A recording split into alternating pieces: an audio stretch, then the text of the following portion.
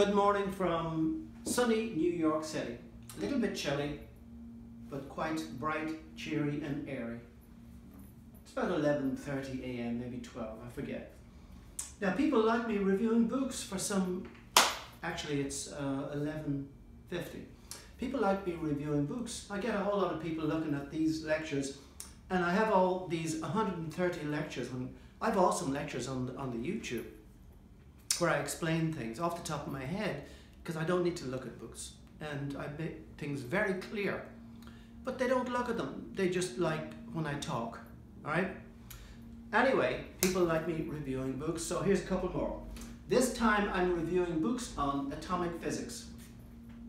Hardly a seen topic these days. People don't say atomic physics, nuclear physics, and people don't even know the difference between atomic and nuclear physics anyway. You know, there's something on the web, who split the atom first? There's no splitting of the atom. Some people say it's Rutherford in England. Rutherford passed alpha particles through gold foil and saw uh, scattering from the nucleus. That's not splitting the atom. That's investigating what's inside the atom. You don't split the atom. Atom is a very complicated thing.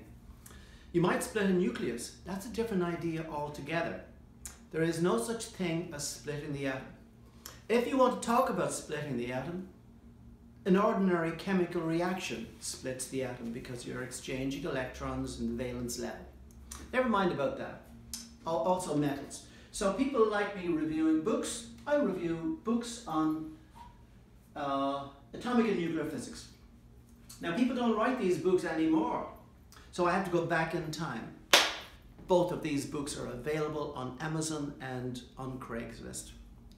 And uh, the first one is Atomic and Nuclear Physics by Littlefield and Thornley. I gave that a, a bad comment the last time I talked about it and I made a terrible mistake. I said there were lots of mistakes in this book. There's a couple of little mistakes in the book. They're so, so minute you wouldn't even find them. So I take all of that back because it's an awesome little book. One of the first books that I learned physics from is Atomic and Nuclear Physics by Littlefield and Thornley. Thornley, I used to call him Thornley. There's no N, it's Thorley. So I changed that. I'll come to that in a minute. The other book is a classic that is never going away. Atomic Physics by Max Born. Now I've told you many times who Max Born's granddaughter is. Max Born's granddaughter is Olivia Newton-John, star of Grease and of the uh, disco era with the Bee Gees in the 60s and 70s, I, I can't remember when. Now Max Born has a student, his name was J. Robert Oppenheimer. Oppenheimer has a student whose name was David Bohm. David Bohm had a student whose name was up there, me, Dermot O'Reilly. So that's my lineage. Uh, Born, Oppenheimer, me. Now before Born, actually, I think uh, Runge Lenz was the dissertation, sorry, was it Carl Runge uh, from the Runge Lenz vector. He may have been Born's uh, dissertation supervisor, and before that was Gauss. So we, we can all trace our lineage. Gauss, yeah, I go back to Gauss. Now that doesn't mean I've nothing to do with Gauss, but never mind. Let's begin at this one. Atomic and Nuclear Physics by Littlefield and Thorley. It's an English book. Now it has a Dutch name, Van Nostrand, but it doesn't matter. It's, a, it's, a, it's very English in style. They're lecturers at the Newcastle, at the, they were, they're not anymore. I mean, this is 1963. Senior lecturer, School of Physics, University of Newcastle upon Tyne, okay? An industrial city. It's an awesome book. It does not put in an unnecessary equation and it keeps them to a minimum. And everything is filled with calculational details. For example, just the simplest K. K is R over NA. Boltzmann constantly puts in the number and works out that it's 1.38 by 10 to the power of minus 23 joules per degree per centigrade. Now, of course, we use Kelvin, but everything in here has numbers in it and it has diagrams of atomic spectra. It's awesome for atomic spectra uh, and the theory of magnetism. You know how You get spin in uh, the Stern-Gerlach experiment, and everything is covered in examples. This is an awesome book, and it's full of details that if you want to be an atomic physicist or a nuclear physicist, this book will get you started. And it, Van Nostrand Reinhold Company, Molly Miller's Lane, Wokingham, Berkshire, England. Yeah? Full of uh, calculational and experimental detail. Cannot be beaten. It's an awesome book. This book I've mentioned before by Max Born. Both of these, by the way, I bought them many years ago in Foyles of London. I think it's 119 Charing Cross Road, London, WC2. Okay, it's the bookshop street in London. I was working across the street at Words and Music, which is now uh, some electronics shop. But I used to work in uh, the bookshops in London, and across the street was the biggest bookshop in the world called Foyles, and I bought these two books there many years ago. Now, Max Born's book is the book of a master. It has not been improved on since nine, this is 1963, Littlefield and Thorley. This one is 1935. This has not been improved on as a book since 1935. Not only does it have all the basics of nuclear physics and atomic physics, there's a difference between the two. Nuclear physics involves the nucleus, atomic physics could involve chemistry, chemical reactions, because we're talking about the atom interchanges. But it has a massive appendix. More than 25% of the book is an appendix.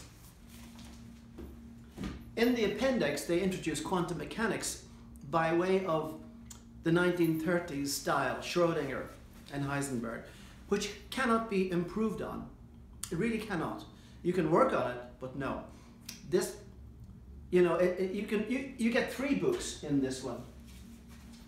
You get books on spectroscopy, a book on nuclear reactions, you know, chain the different stages of nuclear reactions, and then you get an introduction to quantum mechanics, which is awesome.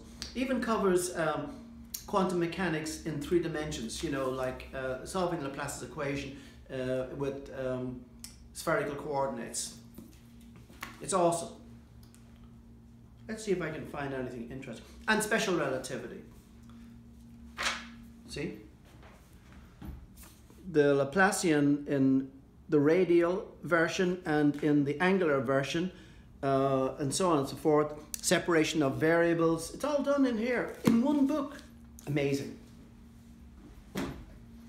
Now, a more modern book, but and the reason I like this one is by E.J. Burge, Atomic Nuclei and Their Particles. The reason I like it. See that? It's thin. $40. I got this for $10 in the street. but it's a good little book and it has a lot of the details that you would need with a more up-to-date. Let's see when this was written. 1988, Oxford. Lovely little book. This is second edition, Oxford Science Publications, Atomic Nuclei and Their Particles.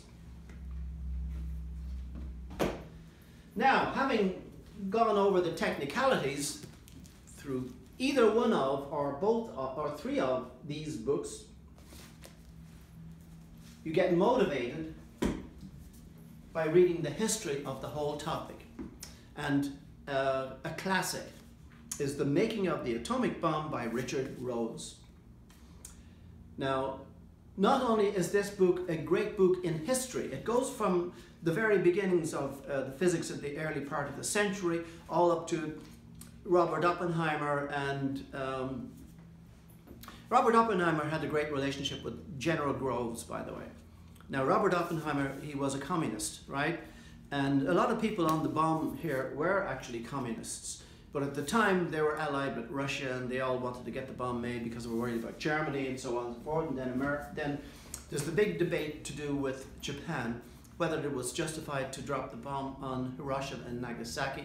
That's still going on. Listen, here we are American. Some people say, well, you took away hundreds of thousands of Japanese lives. We're American. We do not want to lose one American life, even for a hundred thousand other lives, whether they be in Europe or in Asia. That's the way it is. America first, America Republic, not an empire, and we look after ourselves first. So we can save two American lives by dropping two bombs, we'll do it. And say, let's worry about it after that. Okay, so we don't want American boys losing their lives. We don't want our politicians to send them to Vietnam, Korea, or anywhere. And I don't know why they did that. That's a long story. Anyway, Richard Rhodes wrote the definitive history on that whole thing, coming up to the Manhattan Project. And who really was the father of the atomic bomb? Let's think. Not one person, many. Uh, Kistiakowsky was a chemist he uh, really designed the implosion method to make the plutonium bomb that was dropped in Nagasaki. But the gun bomb, which was just bringing two pieces of uranium together to make a critical mass, that was dropped in Hiroshima. They knew that was going to work, so they didn't have to test it. But the plutonium bomb, that was tested out in Alamogordo, New Mexico, and it worked, right? And uh, General Groves was a great organizer, but, you know, he was a clever guy as well. He knew the technicalities of most of this stuff, by the way. Oppenheimer was the brains behind an awful lot of that. But he was there because all the physicists were prima donnas. They had to have a real smart guy running them. Or they wouldn't listen to Groves. They had to listen to Oppenheimer. That's what, that was his role, really, there. Uh, anyway, the making of the atomic bomb by Richard Rhodes is full of technical detail. It's almost like uh, in the middle of it, it's almost like a textbook on uh, nuclear physics. You really could learn a lot from that and then go back to the drawing board for the equations afterwards. But the technical details in here are awesome. Not only that, it's got some great pictures. Let's see if I can find some. I was looking for the picture of Groves with Oppenheimer I actually don't see it at the moment.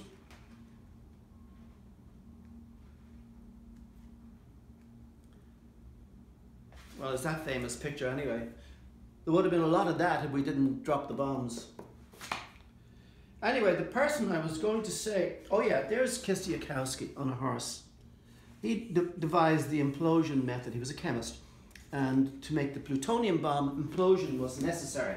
Uh, the reason is you can't just, the general idea with the bomb is you have to have a critical mass, but for plutonium, you would have uh, fizzling out because you wouldn't be able to get the mass go critical quick enough without implosion. That's a long story. I'm not going into that. I don't want to discuss weaponry on the YouTube.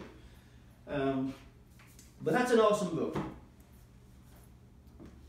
And also the literature in that is great. It's 900 pages long. I recommend everybody get it, right? Uh, I think it was first written in, I think it was first published in 1983. Let me check.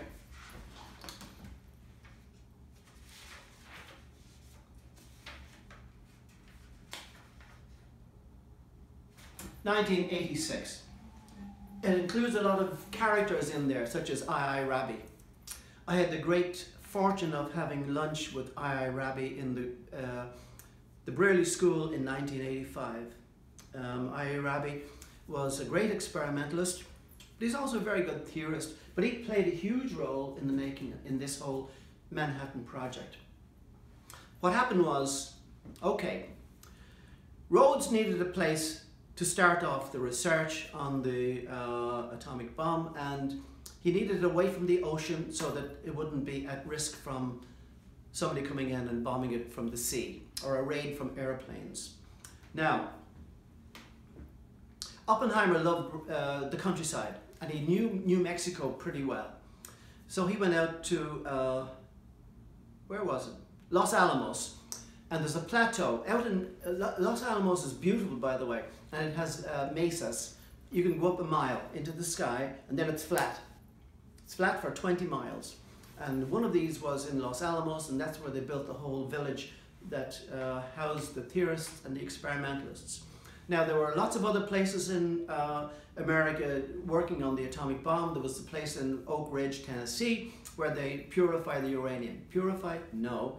They took uranium-235 out of the mix of uranium-238 plus 235. About 25% of you needed to have a, about 25% uh, uranium-235 in a sample uh, to make it useful. That's a long story. I shouldn't be talking about this on the YouTube.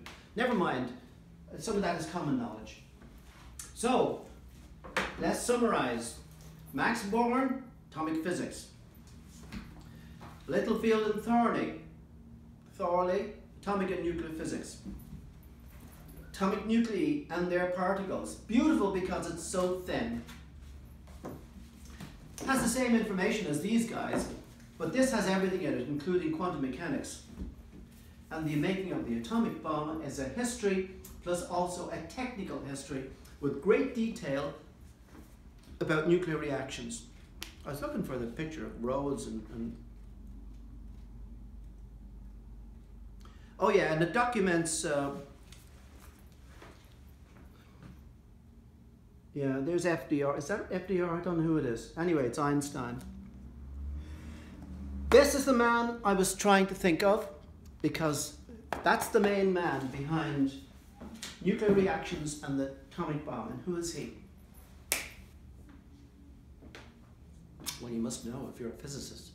Enrico Fermi is the main brains Enrico Fermi was a hands-on person and then he could put theory into it just like that without even trying. We don't have anybody like that nowadays. Now, after this talk, I'm going to give a talk on some of the worst books ever. And I'll, I'll deal with this one. He's my friend, but you have not a single piece of information about a cross section or a decay rate in this book because the guys in here, the super string people, they don't know how to do it. There's no Fermi around anymore. All right, that's for this talk. Let's hold it till the next day. Thanks for listening. Bye bye.